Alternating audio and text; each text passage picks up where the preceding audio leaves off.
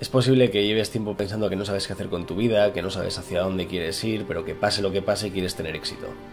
Vamos a hablar sobre el éxito. Prácticamente todos los días me llegan mensajes de gente que dice, tengo que elegir carrera y no sé qué hacer, quiero tener un trabajo de éxito y que me dé dinero, pero no sé qué es lo que tiene más salidas. Esto es el comienzo del camino hacia el fracaso. ¿Qué es lo que quieres hacer? ¿Qué es lo que te apasiona? Ves gente con trajes y dinero y con trabajos estresantes y crees que eso es éxito. Eso no es éxito. Lo único que quieres entonces es dinero. Nadie va a poder ayudarte con eso, porque permíteme que te lo diga, todo el mundo quiere dinero. Eso no te hace especial. A pesar de todo, sí que hay gente que tiene objetivos, tiene metas, eh, sueña con cosas, pero no paran de ponerse excusas. No sé lo suficiente, hay mucha crisis, eh, no tengo dinero para arrancar este proyecto, no tengo recursos. Esto es todo mentira. El recurso más importante que necesitas para hacer cualquier proyecto está en tu cabeza. ¿Sabes por qué se paga tanto a la gente con ideas? Porque no se pueden producir en masa. O sea, no importa cuánto dinero tenga una persona, ese dinero jamás va a ser capaz de producir las ideas geniales que tu mente puede crear en una habitación que está vacía. Y si lo intentas y tienes una idea y sueñas con ella, te van a decir que es imposible, que sea realista. Incluso igual tú mismo te dices que sea realista, que no se puede hacer. ¿Cuánta gente que ha tenido éxito en su vida ha sido realista? O sea, la persona que decidió que iba a poner un barco de metal gigante en el agua y que iba a transportar a gente no estaba siendo realista.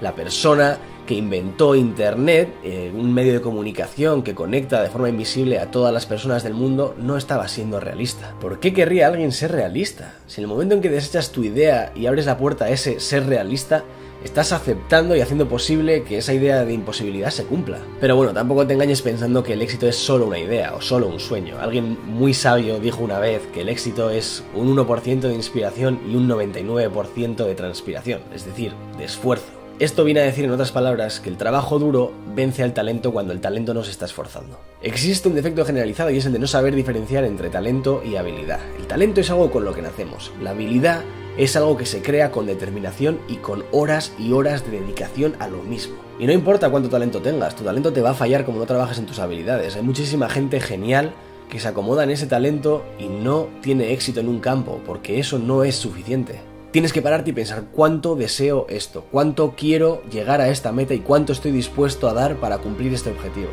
Porque esto es lo que te vas a tener que recordar constantemente para poder cumplirlo. Piensa que en el camino la competencia va a ser brutal. O sea, mientras estés durmiendo, va a haber alguien que está trabajando para ser el mejor en lo mismo en lo que tú quieres tener éxito. Mientras estés descansando o aireándote, va a haber alguien que va a seguir trabajando para ser el mejor en lo que tú quieres tener éxito. Y si no estás dispuesto a poner todo ese esfuerzo, quizás simplemente no has sido sincero y esa no es la meta a la que quieres llegar. Quizá no es el objetivo al que querías llegar. Porque si lo es, te lo aseguro que te vas a esforzar. O sea, vas a trabajar todos los días como si es el último día que puedes trabajar en eso. O sea, como si no tienes más tiempo y está toda la gente en tu nuca gritándote que es lo que tienes que hacer. Así que deja de culpar a toda la gente que tienes a tu alrededor de tu falta de éxito. Deja de pensar que tienes mala suerte. Deja de creer que el universo está en contra de que tú consigas algo o de que hay alguien que está dispuesto a hacer lo que sea para que no llegues a conseguirlo. Porque sinceramente todas son mentira y todas son verdad en la medida en que nosotros permitamos que lo sean. Si quieres algo, hazlo. O sea, haz todo lo que esté en tu mano cada hora, cada día, cada semana para conseguirlo. Dicen que el precio del éxito es altísimo, pero es que la recompensa también,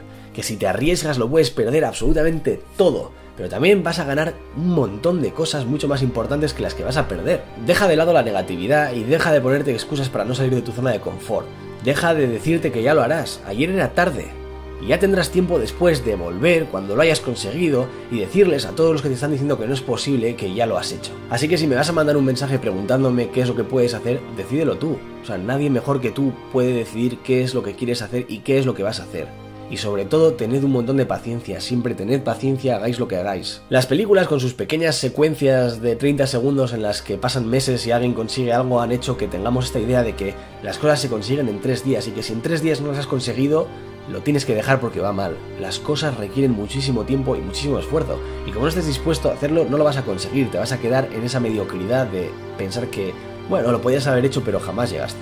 Alguien que admiro mucho en una entrevista dijo que no intentes construir un muro. O sea, no te digas a ti mismo, voy a construir el muro más increíble e impresionante que se haya construido jamás. En vez de eso, di, voy a colocar este ladrillo de la manera más perfecta que se pueda colocar un ladrillo. Y haz eso todos los días. Así es como se construye un mundo. Muchas gracias a todos y espero haber podido ser de alguna ayuda para los que estáis decidiendo cosas o los que estáis intentando tomar decisiones.